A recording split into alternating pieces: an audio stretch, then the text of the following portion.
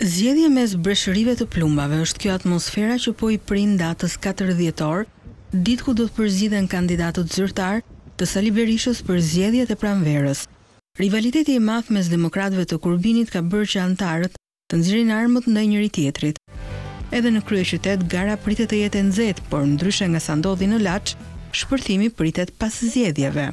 Tirana shpëtohet me tritol. Alternativat e Sali Berishës për Bashkinë e Tiranës për të rivalizuar Erion Veliajn kanë profil të ndryshëm nga njëri-tjetri. Pas juristes Adriana Kalaja që njihet për kapërcimin e ylberit politik, sipas rendit alfabetik, emri i dytë që i propozohet demokratëve është Belind Këlliçi, ish-kryetar i Forumit Rinor, është rreshtuar prej kohësh krah Berishës, i gatshëm të lërë mandatin e deputetit për karrigen e kryebashkiakut. Sfidantja tjetër nuk është shumë e njohur për publikun e gjerë, Enkelejda Fejzo, erdhi si propozim i degës nëntë. Lista pasohet nga Fatmir Merkoçi, ish dhjetorist, ndërkohë ish deputeti Gert Bogdani është vetofruar i pari që t'i dalë përballë Erion Veliajt. Kandidati tjetër, Ilir Alimehmeti, nuk i është dashur të mbajë një profil të lartë publik për t'u njohur, pasi i ka mjaftuar profesioni i tij i mjekut.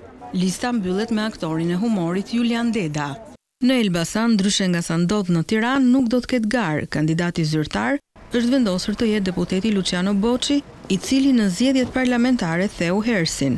Edhe në Shkodër nuk priten surpriza, Berisha kërkon të konfirmojë Bardh Spahinë pas suksesit të korrur në zgjedhjet e pjesshme të gjashtë marsit. Edhe pse ka garë në Durrës, favorit është ish-deputeti Igli Cara. E njëjta panoramë duket edhe në Vaun e Dejës, ku deputeti Zef Hila shihet si kandidati më potencial për të fituar. Temperaturat pritet të rriten në Kamëz, ku përballë janë të vendosur tre ish-policë.